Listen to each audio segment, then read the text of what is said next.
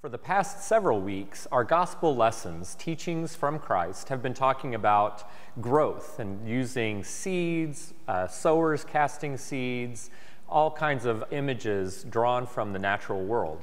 And we have yet another one this week when Jesus talks about the mustard seed, talking about how it's the smallest of all seeds, and yet when it's planted and nourished with the sunshine and the water, that it becomes the largest of the trees. And the idea, of course, that is most commonly associated with this parable is that it takes very little of our own uh, being, that God and God's presence and love will make us grow into great trees. The, uh, the epistle lesson that will precede the gospel, a, a section from Paul's uh, letter to the Romans, really uh, provides a good context for that mustard seed teaching and it starts off with that very evocative line of Paul's where he says that when we don't even know how to pray on our own, that the Spirit of God intercedes for us with sighs too deep for words. And that passage ends very beautifully with that affirming statement that nothing will separate us from the love of, God, of Christ, neither uh, death, nor life, nor principalities, nothing in the world or beyond the world can separate us from God's love. And that idea that God's love is all surrounding us, all pervasive, that everything around our existence is enveloped in God's love. And of course, that gives us lots of great opportunities as we sing praises to God and to acknowledge that universality of God's presence and God's love. So we'll start off the service beginning with one of the most popular hymns in all of Christian hymnody Praise to the Lord, the Almighty.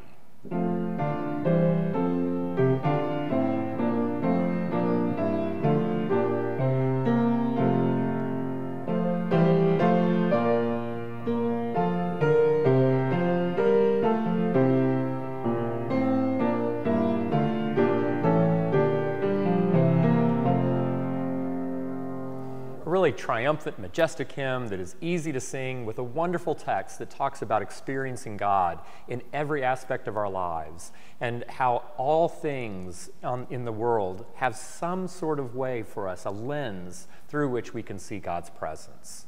It's interesting, this is a hymn that's been in the Christian church for a long time, uh, but it didn't really get popular until the 20th century. Uh, the tune itself was probably based on a folk tune, uh, but the text was originally written by a German pastor, Joachim Neander, uh, during the Reformation, and then was translated in the 19th century by Catherine Winkworth.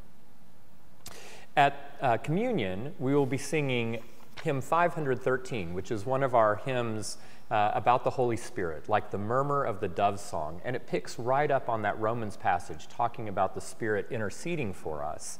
And this is a very popular tune in the newer tradition of our hymnody.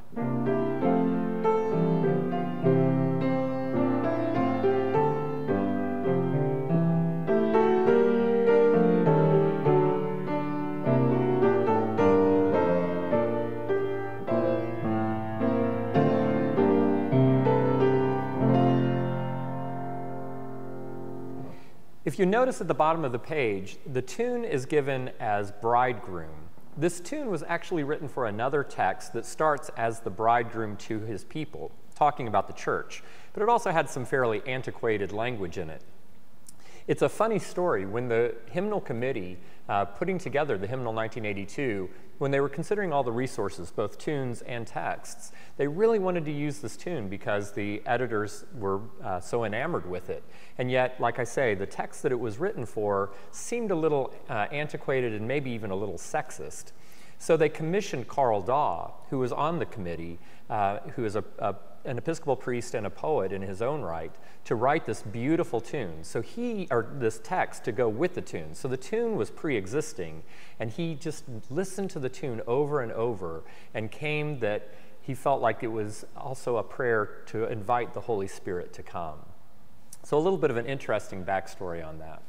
And at the end of the service, we'll be singing another very popular hymn, God of Grace and God of Glory, with that wonderful Welsh tune, Cwm Rhondda. So we have a lot of very popular and very easy to sing melodies this Sunday. We have beautiful prayers and anthems as we all express the love of God that is all pervasive in our lives. We hope that you will come and experience that presence with us here at St. John.